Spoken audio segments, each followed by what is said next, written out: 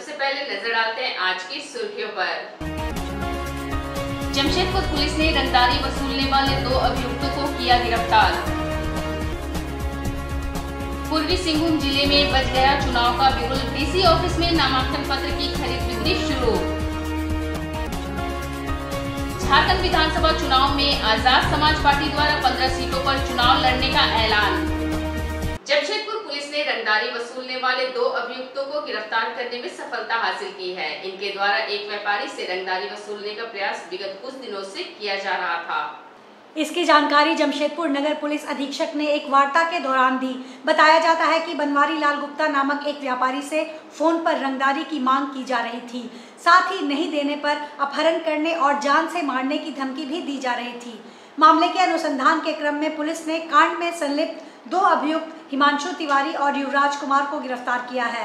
Police ने उनके पास से दो मोबाइल भी बरामद किया है। फ़िलहाल दोनों अभियुक्तों को न्यायिक हिरासत में भेज दिया गया है। इनका मानगो थाना में कंप्लेन आया था कि तेरह तारीख को इनको इनका एक पेंट का दुकान है, गुप्ता एंड सन्स करके।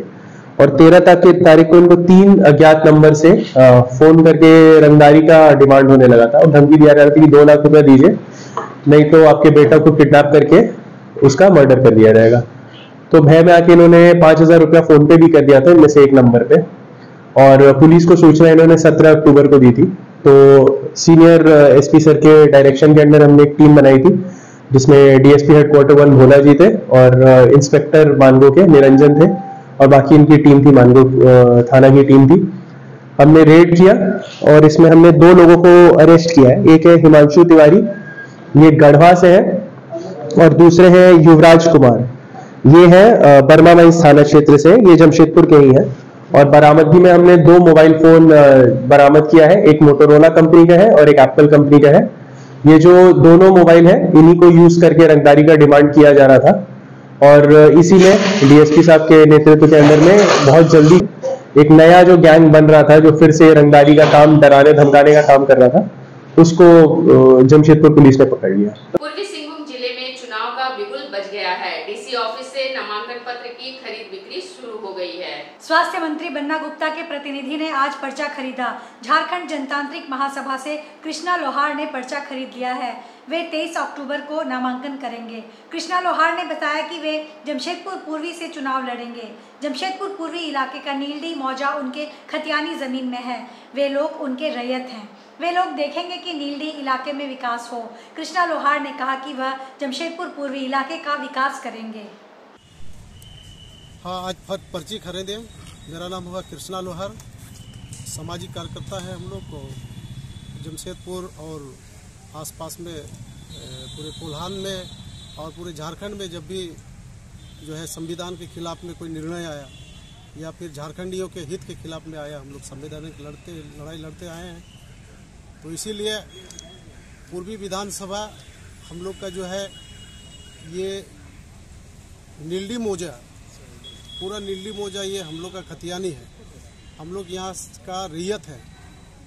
और जो है, यहाँ जो भी बस्ती बसा है, हम लोग के ज़मीन पर बसा है। टाटा कंपनी और सरकार के लापरवाही से।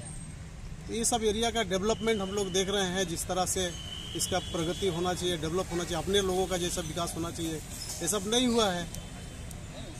रोड रास्ता नली गली तो बनता है, लेकिन जिस मकसद से लोग विधानसभा में भेजते हैं वह नीति निर्धारण के लिए तो अपने लोगों के लिए नीति बनाई नहीं।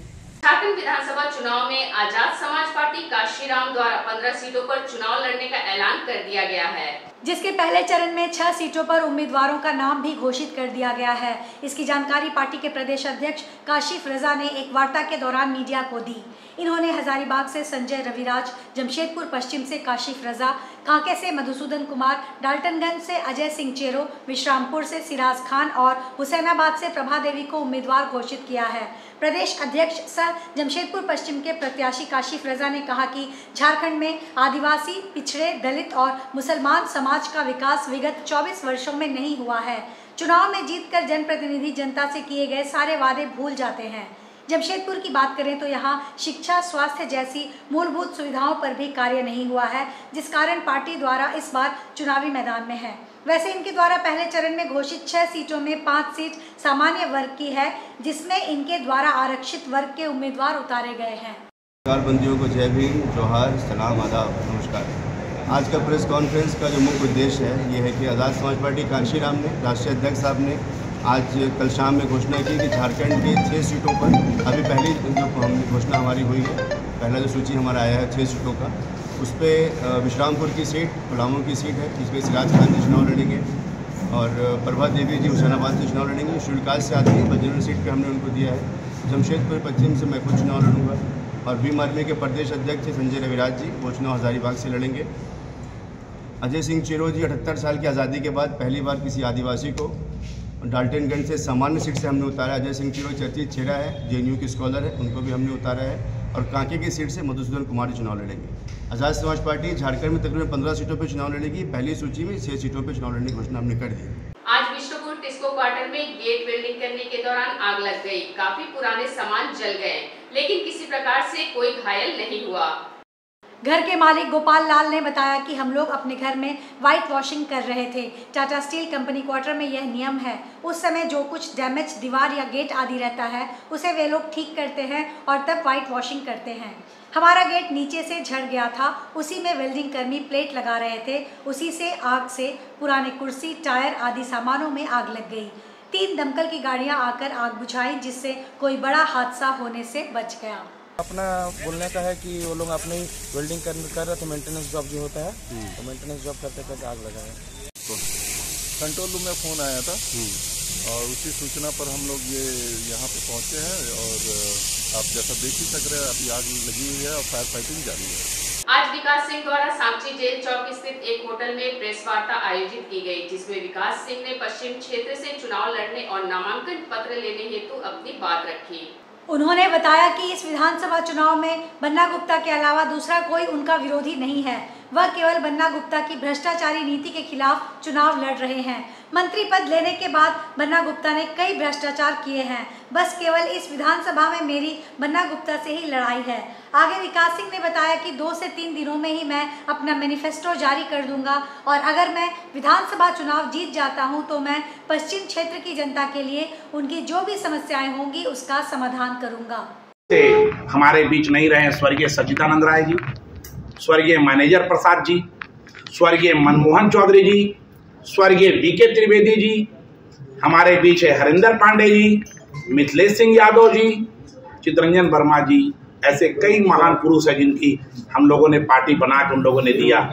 उसके द्वारा अगर बोया हुआ, खिलाया हुआ कमल कोई सिलेंडर की दहक में जलाने का प्रयास करेगा तो वो नहीं होगा। निश्चित रूप से मैं मजदूरी मांग रहा हूँ लोगों से। आप लोग सोते होंगे, रात को कोई दस बजे, कोई ग्यारह बजे, कोई बारह बजे कोई सोता होगा। आप मेरी पत्नी से पूछ लीजिए सिखलाए नहीं और मेरे जानने वाले लोग को। विकास सिंह सोता है शाम को चार बजे और उठता है सात बजे। ये आज से नहीं, दस साल से। और फिर सुबह चार बजे भोर में सोता है। विकास सिंह रात भर जागता है। और रात भर विकास सिंह चोरी चमारी और गलत काम करने के लिए नहीं जागता। विकास सिंह कान के पास मोबाइल लेके सोता कई पत्रकार बंधुओं से मेरे दो दो बजे रात को बात हुआ है। कि किसी को पुलिस ने नहीं तंग कर लिया, किसी घर में चोर नहीं घुस गया, कहीं पानी तो घर में नहीं घुस गया, रात भर विकास नहीं जाता मेरा शेड्यूल पता कर लीजिए मेरे घर में। मैं दोपहर को सोता हूँ, रात को जागता हूँ, अपने कमाने के लिए नहीं, लोगों की सेवा करने के लिए। इसके साथ ही मैं मांगों में विशेषकर ज़्यादा समय दिया हूँ राजनीति का, क्योंकि मैं भारतीय जनता पार्टी का कार्यकर्ता। कदमा भाटिया बस्ती की रहने वाली पुष्पा सिंह के खिलाफ आज कई महिलाएँ एसएसपी कार्यालय पहुँची और कार्रवाई की मांग की। एसएसपी कार्यालय पहुँची, महिलाओं ने कहा कि पुष्पा सिंह नामक महिला ने हम लोगों के नाम से लोन उठाया और पैसा रख लिया है। किसी से एक लाख तो किसी से दो लाख लिया है। पैसा मांगने पर अपशब्द भाषा का प्रयोग करती हैं। काफ़ी संख्या में महिलाओं के साथ पुष्पा सिंह ने ठगी की है। मामला ये है कि भाटिया बस्ती अशोक पद भाटिया बस्ती शिव पद की रहने वाली पुष्पा सिंह नाम लेडीज़ है। उससे मेरा बातचीत होता था, वो मेरी पड़ोसी है। वो मेरे घर आती थी वो लोन चलाती है माइक्रो फाइनेंस का, वो अपना लेडीज़ अपने कस्टमर को ला के मेरे सेंटर में जोड़ के उसके नाम से एक एक लेडीज़ के नाम से एक एक लाख रुपया उठाइए। लमसम हम लोग इसमें पंद्रह से बीस लेडीज़ के नाम से पैसा उठाइए। मेरे नाम से मोबाइल फाइनेंस किए, मेरे से कैश एक से डेढ़ लाख रुपए ली है। और जब हम उससे मांगने के लिए पैसा जाते हैं या फिर मेरे पति जाते हैं तो हम लोग को धमकी दिया जाता है। धमकी में ये मिलता है कि अगर तुम मेरे घर पैसा लेने आएगी, चाहे पुलिस के पास जाएगी, चाहे कहीं भी जाएगी तो हम तुम्हारा बेटी को उठा लेंगे। मामला ये है कि हम लोगों के साथ धोखाधड़ी हुआ है और वो पुष्पा सिंह की है, ठीक है? और हम लोगों ने कदमा थाना में एफ़ आई आर मैंने किए हैं और अभी एसपी ऑफ़िस आए हैं मिलने के लिए सर से। और हम लोग चाहते हैं कि हम लोग के लिए कुछ होना चाहिए न्याय हम लोग को मिलना चाहिए। हम लोग बहुत परेशान हो गया बहुत दुखी हो गया और हम लोगों लोन भर भर के आज के इस बुलेटिन में बस इतना ही हम फिर हाजिर होंगे कुछ और नई खबरों के साथ। तब तक के लिए एसएसएन न्यूज़ की पूरी टीम की ओर से मुझे दीजिए इजाज़त। नमस्कार।